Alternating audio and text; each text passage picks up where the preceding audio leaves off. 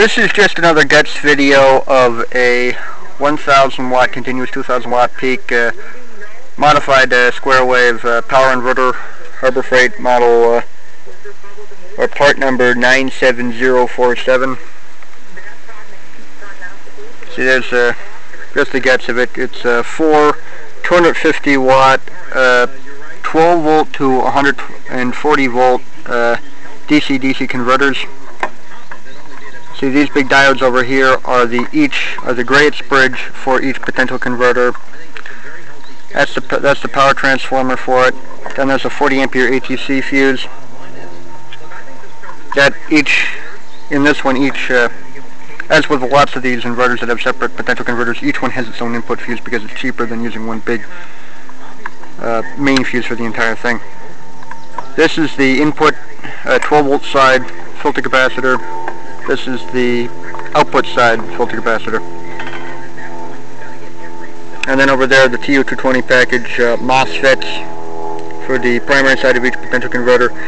And then these uh, gray things are the uh, heat are the low thermal resistance uh, silicone rubber pads over the TO247 MOSFETs for the um, output side H bridge because that's how a uh, modified square wave inverter works because it just has the positive 140 volts and a negative 140 volts which is supplied from the same thing because what the H bridge does is alternately pairs of them fire or conduct so that the output you can look up on H bridges well if you need to I'll do a video on it.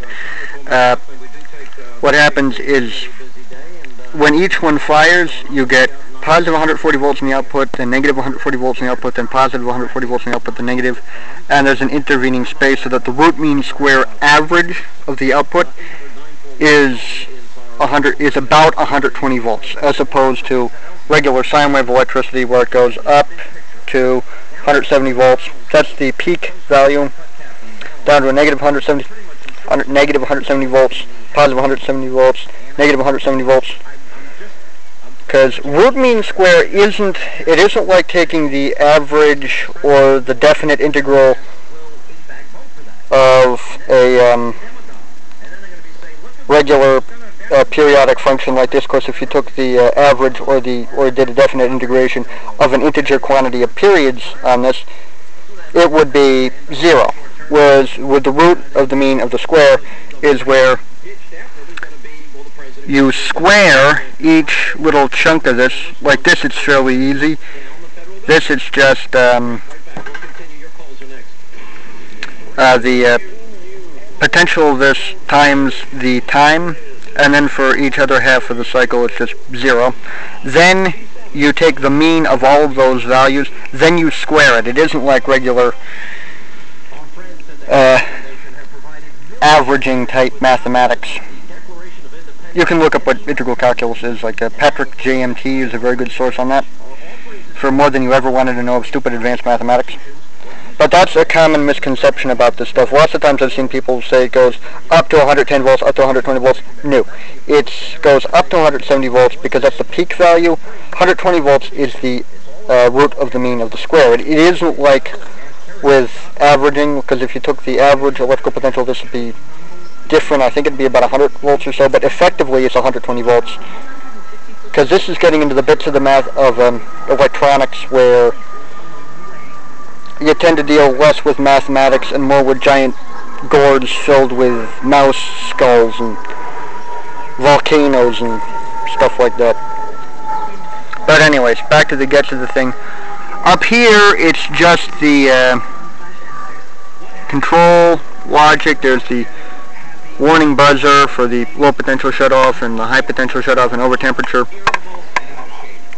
And over here you can see this bunch of wires here going to one of the MOSFETs. That is the low, that is the high temperature shutoff because what it does is it assumes that this one MOSFET, if this one's overheating, it assumes that they're all overheating and it's cost-cutting measure because it's Chinese.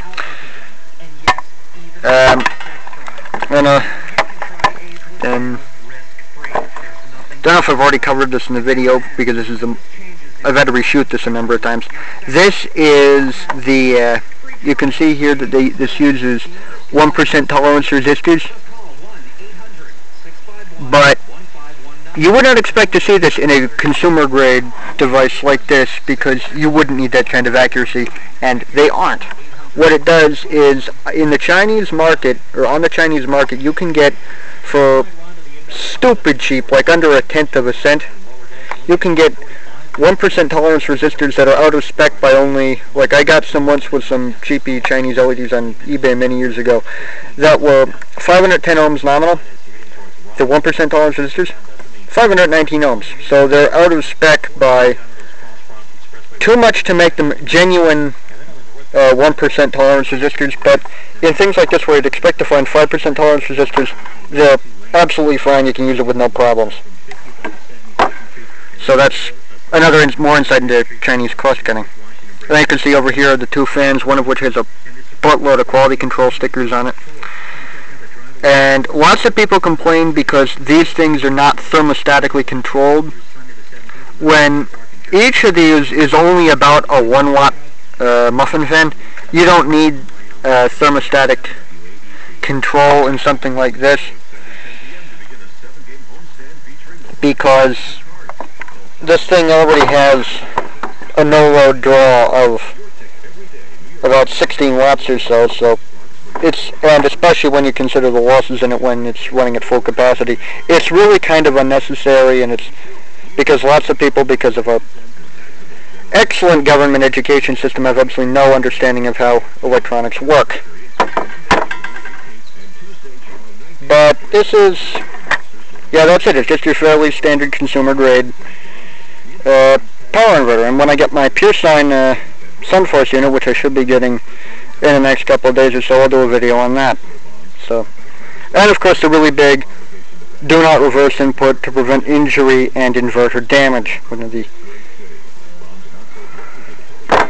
Yay English.